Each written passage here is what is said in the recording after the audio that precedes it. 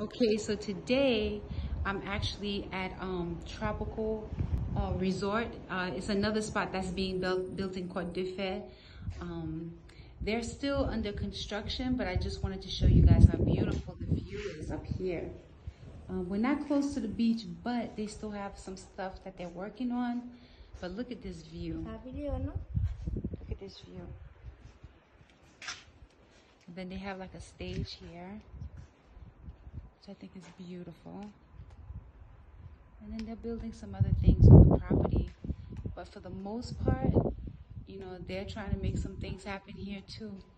So this is to show you, to encourage you guys that, you know, there are people out here that's trying to make the area, you know, they're trying to build and develop the area because we see the potential. And you too can do the same thing. Just come out here and visit and come feel this breeze. If you could only feel this breeze right now. And look at this. The water has four different colors. Like I can't even explain to y'all. The water is four separate colors right here. I'm not sure if they're going to have a path to go down to the beach, or whatever it is, man, if you come stay here, this is going to be the spot. Just for that view tropical resort. Let me just get you. They let us in. The owners aren't here, but this is a nice little new spot. I guess they have like bands play here. So this is definitely the stage. So I just wanted to show you guys. See, tropical resort.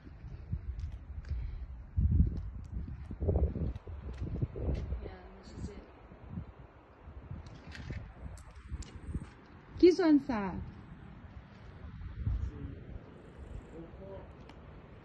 Li va treche wash, sous?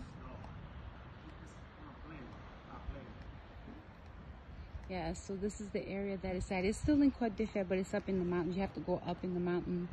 That's why you have this view right here. It's like we're on a bluff. But you guys, I wish I could see this. I hope this video can show you. It is literally one, two, three, four different blues. And then you add the skies, five different shades of blue. Right there. This is Natalie TV signing out. Just to show you what's here in Cotes De Fer, Haiti.